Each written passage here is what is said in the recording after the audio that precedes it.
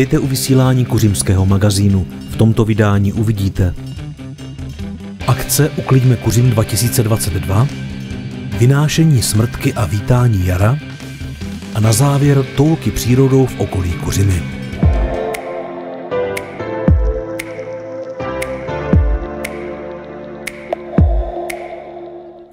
Přijít mohli všichni, kterým záleží na našem městě, na tom, jak jsou čisté ulice, ale především příroda, již nás obklopuje. Akce Uklidíme kuřím přilákala desítky občanů se zdravýma rukama a nohama a srdcem na pravém místě. Sraz byl tradičně u Alberta na náměstí 1. května, kde se rozdávaly odpadkové pytle a rukavice, ale i malé občerstvení. Uklidíme kuřím je součástí celostátní akce, která se eh, v tuto dobu eh, děje už mnoho let, eh, a to Uklidíme Česko. Takže my poklízíme město, které nám je nejbližší, které máme rádi, to znamená Kuřima.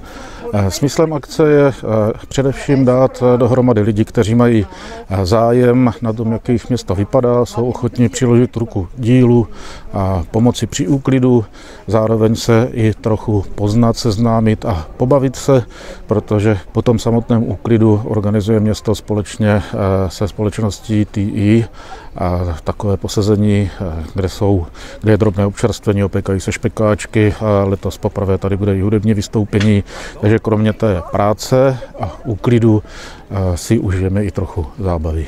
Zpívám ptákům a zvlášť holubům, stával v údolí mém starý dům. Ptáku ho zalétal ke krovům, měl jsem rád holubých křídel šum.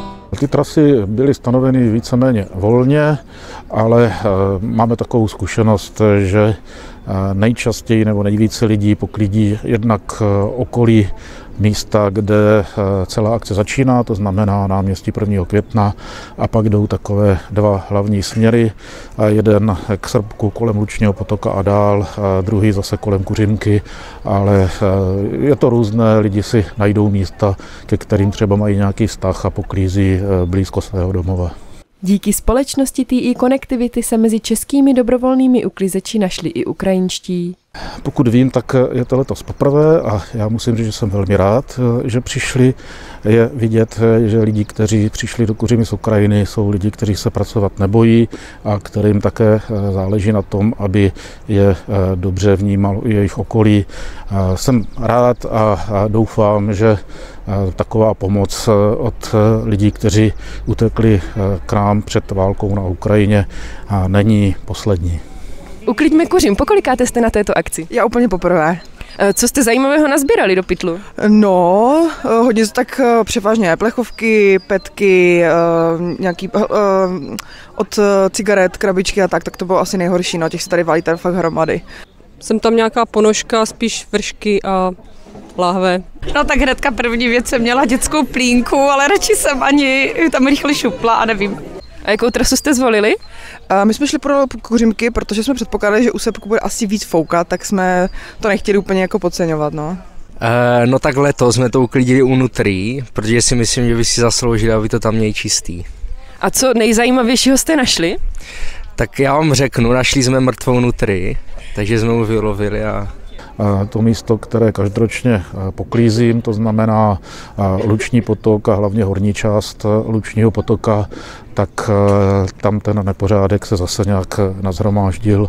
Taková klasika hlavně bych řekl různé láhve, petláhve, skleněné láhve, všelijaká vetež, kanistry, dokonce láhve od oleje, ale viděl jsem, že i kolegové, kteří šli se mnou, tak našli třeba kočárek, bylo tam spousta obalů od kabelů různých, takže byla to taková pestrá směsice. Na druhou stranu ale zase musím říct, že byly i daleko horší roky. Kterou trasu jste zvolila při, pro úklid? Um, já se příště nevím, která to byla trasa, prostě jsme šli k Srbku a obešli jsme to tam zadem ke stadionu, takže nevím přesně, která to byla trasa. A v kterých místech vám to přišlo nejhorší? No, já jsem vylezla za Srbkem, ale jako kdyby tam na tu uh, zrušenou tráť a tak tam toho bylo, tam jsem to nemohla ani unést, no. Po kolikáté tu jste už na téhle akci? Už po několikáté, asi po čtvrté, ale s dcerou po druhé. Já bych řekl, že tak po čtvrté. A myslím, že aspoň tak po čtvrté, no, ale už bez dětí, my už máme velký, takže teď už jsme jenom torzo rodiny. Dneska to počasí úplně nepřeje, jak moc jste se oblékli. No, tak teplé, no, aby nám nebylo zima, takže uh, zimní bunda, zimní boty a prostě aby nám bylo teplo, no. Teplý boty, bundy a rukavice a čepici. Já bych řekl, že jsem se oblíkal docela dobře. Musím se teda přiznat, že tohle je moje oblíbená bunda, a takže jsem to úplně nezvolil dobře, ale ale tak dobrý. No, myslím si, že dobrý, že jsme to vystihli, takže jsme si oblíkli by všechno. Ještě i zimní věci jsme vytáhli, co jsme potřebovali. Kolik pytlů jste tak naplnili? Jenom půlku, bylo to všechno byly malé věci. No, jeden taky velký. Jeden. Jeden, jo. A půjdete zase příště? Uh, jo, Hledám dům holubý, kdo pak z vás cestu ví. Mýval stáj roubenou bílý štít, kde je dům holubý a ta dívka, kde spí, vždyť to ví, že jsem chtěl jen pro ní žít. Zpívám ptákům a zvlášť holů. Bum.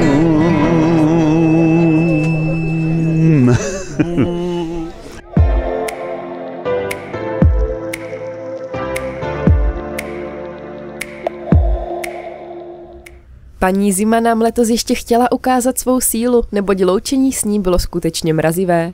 Kuřimáci a kuřimátka se už ale těšili na jaro a tak se i přes nepříjemné počasí sešli první dubnovou sobotu v pivním klubu při další veselé akci pořádané Kudakem a městem Kuřimí. Dnešní akce je vynášení Morany, což znamená paní Zima, i čarodejnice možná, a vítání jara. E, Morena se vlastně upálí, nebo my to upalujeme, že se může pustit po vodě nebo se zakopat v zemi a tím jakoby se ukončí zima, pohřbí se paní zima. Uh, potom se vlastně uh, udělá takový, děti udělají takovou větvičku, na které budou ozdoby, říkají tomu léto, létečko, líto, je to takovým nářečím a to znamená, že si domů děti odnesou jaro a už začne. Dle slovanské mytologie Morana, bohyně zimy, smrti a noci, vládne v zimních měsících a bývá obvykle vynášena v čase jarní rovnodennosti, kdy vládu nad světem přebírá vesna, bohyně jara, života a radosti. Počasí se nám teda vyvedlo úplně přesně, takže to by měl být poslední záchvěv, záchvěv zimy, ale tak vidíme, že ta pranostika nebo ti naši předci asi věděli, co dělali, že to je prostě eh, konec zimy a že by to jaro mělo přijít, takže my doufáme, že máme tam připravenou takovou jednu básničku pro děti, nebo zaříkáme paní zimu a tím teda si myslíme, že od příštího týdna už pofrčí jaro. Po příchodu do pivního klubu si děti, ale i rodiče či prarodiče posedali ke stolům a vyráběli loutky morany. Ty se podle velikosti vyrábí z klacku nebo špejle, na kterou se ze slámy či líka vytvaruje hlava, ováže se šátkem a pokračuje se tvorbou těla. Ruce vzniknou buď připevněním druhé špejle nebo klacíku napříč, anebo jen svázáním více slámy či líka. Nakonec přijde asi to nejzábavnější a to je zdobení těla a malování obličeje. A vydáme se společně s cymbálovou kapelou Pajtáš směrem k rybníku a nad rybník do lomu, kde máme nachystaný stany, máme tam nachystané občerstvení pro všechny špekáčky se budou opíkat, bude tam hrát celou dobu cymbálová kapela Pajtáš a vlastně tam se bude vyrábět to lítečko a No na to, že je to první ročník, tak to hodnotíme docela dobře. Mysleli jsme s tou zimou, nebo co se takhle, co dneska je za počasí, tak jsme měli strach, že nepřijde vůbec nikdo, ale nakonec vidíme, že máme v Kuřimě hodně otužilé lidi a lidi se chtějí bavit, takže došlo docela hodně lidí, takže to hodnotíme kladně.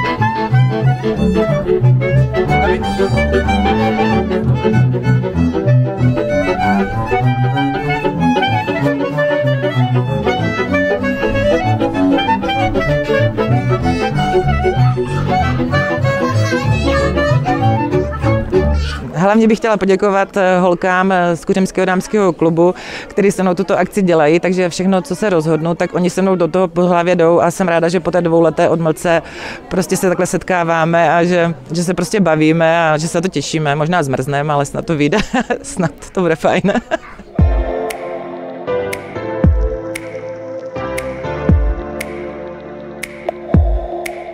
Ráda bych vás pozvala na kuřimské trhy. Prvním trhem byl knižní a herní trh, který se uskutečnil na konci března a pořádala jej Městská knihovna v Kuřimi.